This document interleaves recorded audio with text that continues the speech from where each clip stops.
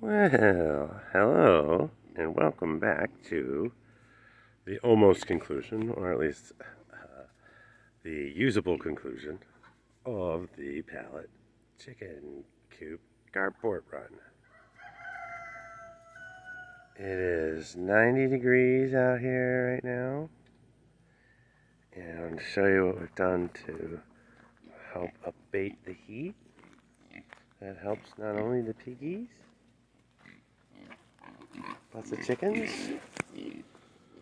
Got this set on a timer right here.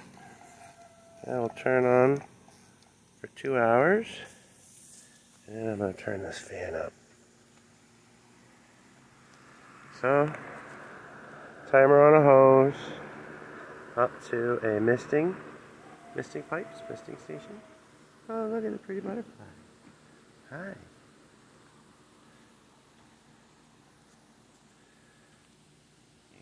Inside the coop, we'll go in so you don't get covered in water. So we'll let that start cooling down. It's 95 degrees out here. So we've done. So this is some old paint that we mixed together. Scrap wood. These were out of an old curtain rods. Put together to hold this together. Let's see who's in here. Um, what is, so what did we do in here that that's different? Uh, I'm not sure.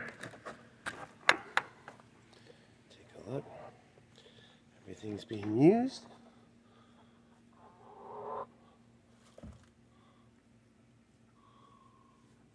So five boxes, four perches. Um, I cut this ventilation in here because I didn't. Uh, I need to secure this roof down. So I'm going to be screwing this roof down. Some of the things I have yet to do. Secure, finish securing the roof, and then fill the holes in the roof that were from because this is being reused so you can see the little white holes. I'm going to put some caulk in there. Um, the white stuff you see, everything is covered with uh, diatomaceous earth. And then down below we have chips, and then down below the chips are pine pellets. So there's three bags of pine pellets, one, two, three, and then one bag of wood chips over top. Hi, beautiful. Uh, this is the last little bit of paint we have left. Um, one of the things we need to work on is probably ventilation back there.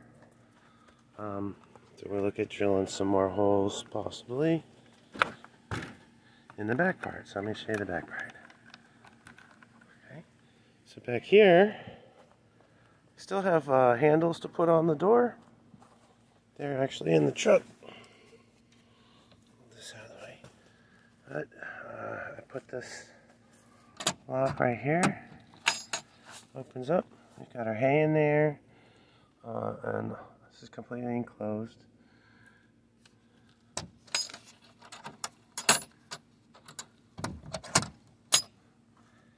You can just pick it up and pull it out because it's just in the grooves.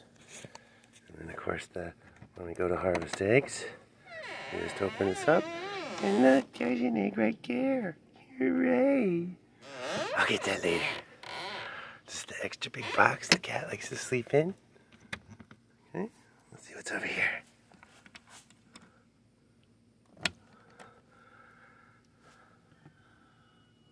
No, no, no. All right, let's go inside, shall we? I don't want to leave those there. That's my pocket. All right so to go inside. This hasp up here, which keeps it pretty much straight. Hi, everybody. And then to close it, I just have this hooked like that for the moment, and it seems to work. So what I did in here, put a little hooky up, put this thing up for storage or whatever, for little snackies. Put some hooks in this 2x4, which I screwed to the end of the rafters and then uh, brought, brought the plastic in and stapled that. This is cut, these are some, again some scrap boards I had left over as pallets, we're in the middle.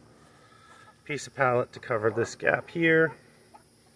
Two screws in there, and I wasn't gonna, I didn't have the heart to cut this board off, so I left it hang out there. I figured we could hang something out there when they're free range and we might put a waterer to hang from out there because they're going to get the free range. Ah, that stuff back there.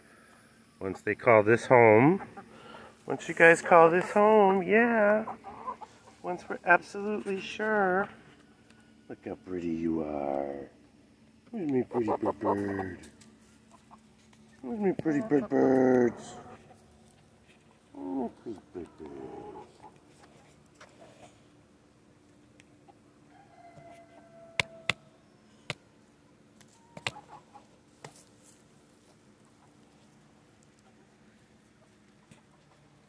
One of my favorites. What's up, Cook Shields? Here's my pretty bird bird.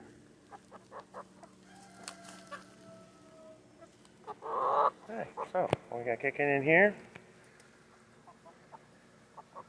Misters are working. Cool it down. The beauty of having the fan here is the pigs get to use it too. Uh, they were all just here for a moment. Now they've kind of moved over there. But they do get to hang out with the chickens. This is the first time they've been this close to the chickens, and the first time the chickens have really been this close to the pigs. My beautiful. Where's my pretty bird bird?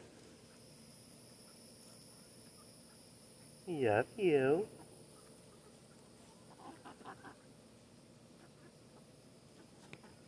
you doing?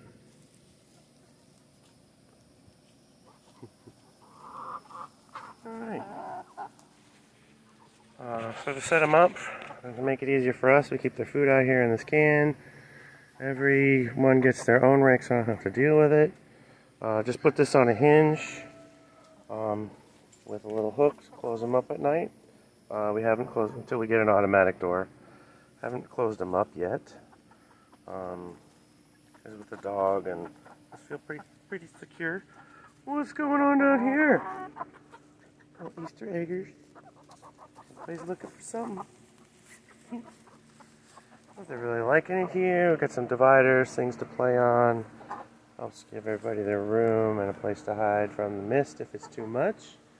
That does feel much cooler already.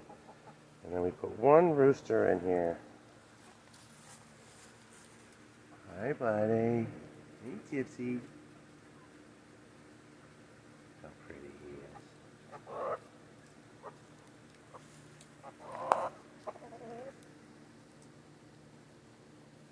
So, 18 hens and one rooster. This is a 10 by 20 carport. So that's uh, 200 square feet. You know, 200 divided by, you know, 20 birds is uh, 10 square feet per bird. And of course, this is a temporary until they realize this is where their roosting and sleeping arrangements are. Uh, once they're used to that, then we will be letting them out. I'm just going around looking at all the bungee cords, everything that's holding us together.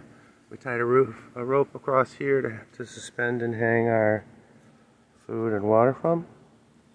So it's 10 square feet per bird right now while they're in here. And then once they're used to this in a couple weeks, we will be uh, just basically opening, close this up. You can see the stuff that got put on after we painted. Basically be opening this up in the morning and then they can free range and we'll put a gate over here. Probably cut a gate in here. Not that we'd actually need it because they could fly over. But to make it easier for the dog to go out there as well to protect them. Um, and then they can free range this entire area back here. So, uh, there you go. It's in use and operational and it's protected from the heat Last few things we were going to do, again, handles, put the, uh, finish, finish attaching the roof. And we're going to get a 20 by 20 foot tarp to put over top of this, which will come down a little bit more and provide a little bit more protection. And I'll show you that in another video. Thanks for watching this one. Hope you're having a great Memorial Day. See you later. I mean, I love you later. Bye.